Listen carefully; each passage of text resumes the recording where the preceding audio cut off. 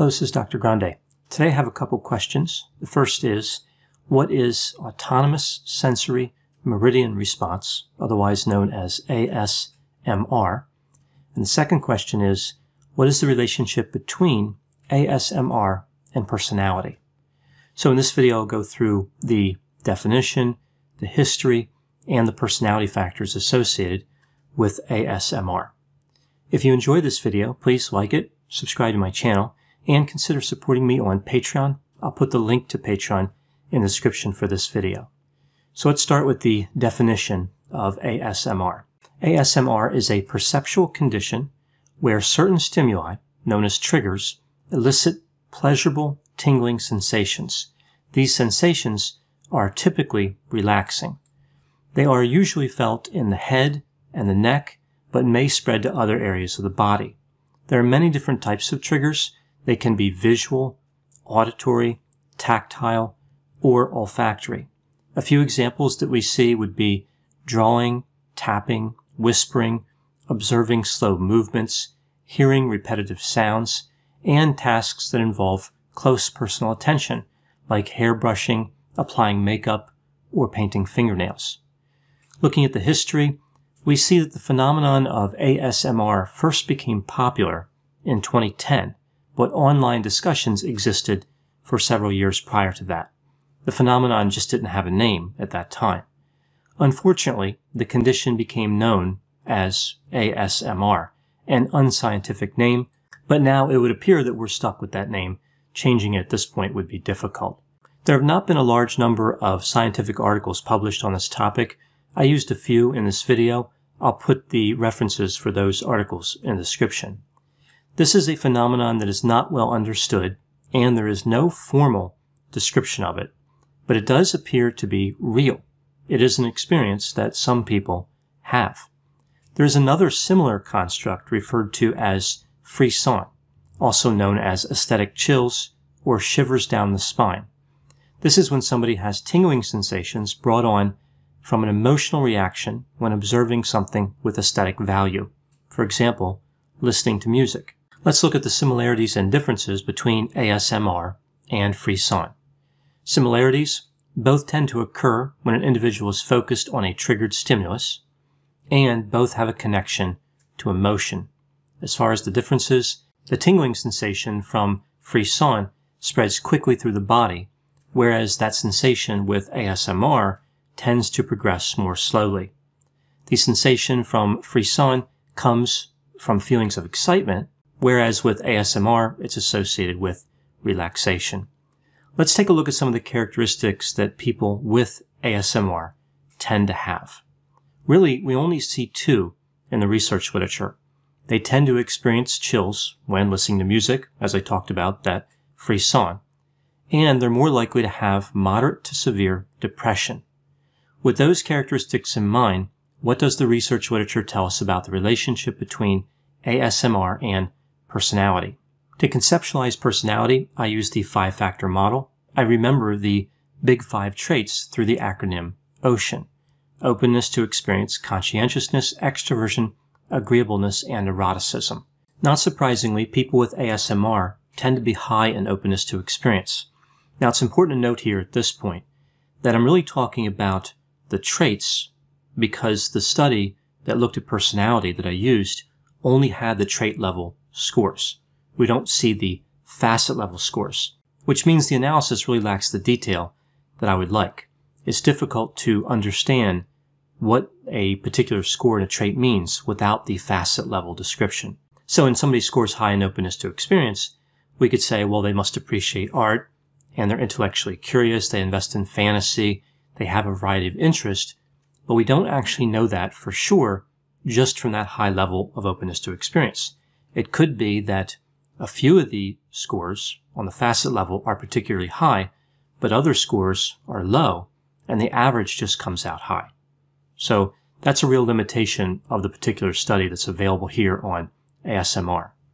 Now moving to conscientiousness, we see here the result was surprising. Individuals with ASMR tended to have lower conscientiousness than individuals without the condition.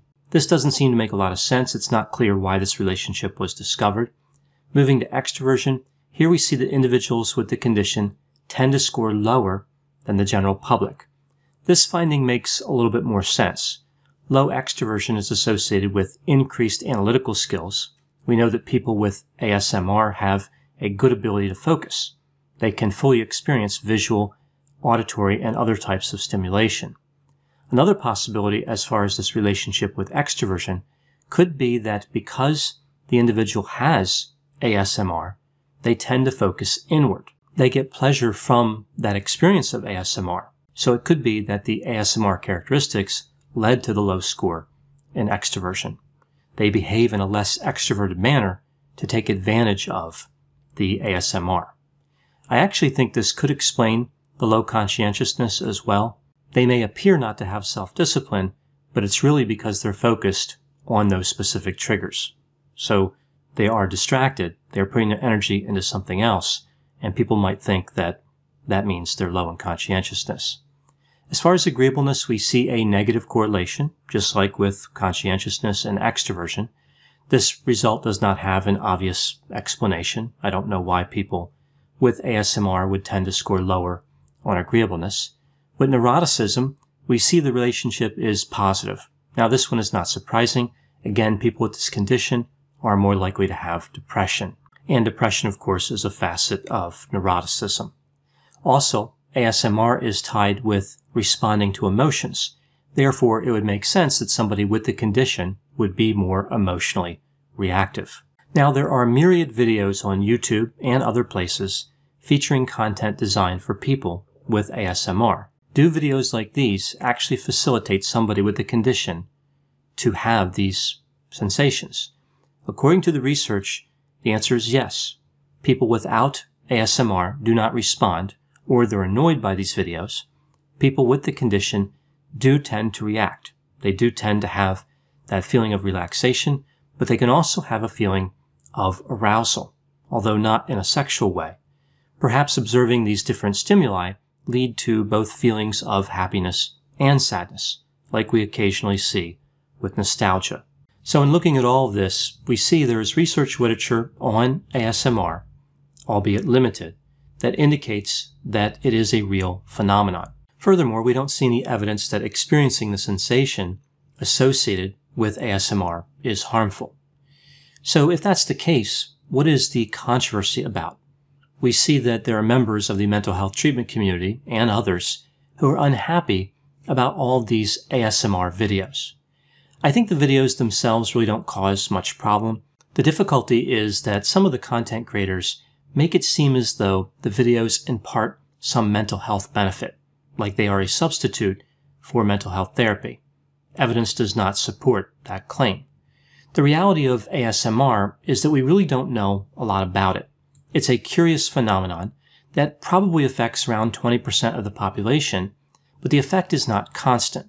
Some people have a strong reaction, and others may have a mild reaction that may go unnoticed for their entire lives. I've seen a lot of people worried that they do not have the response. They feel like they're missing out on something, like they can't be part of this new trend.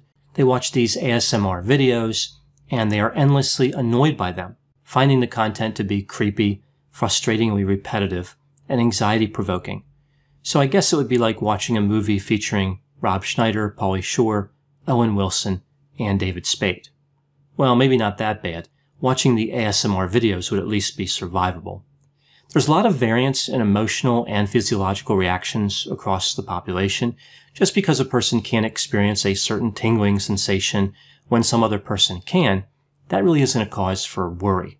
This reminds me of the controversy around the dissociative identity disorder videos, the DID videos.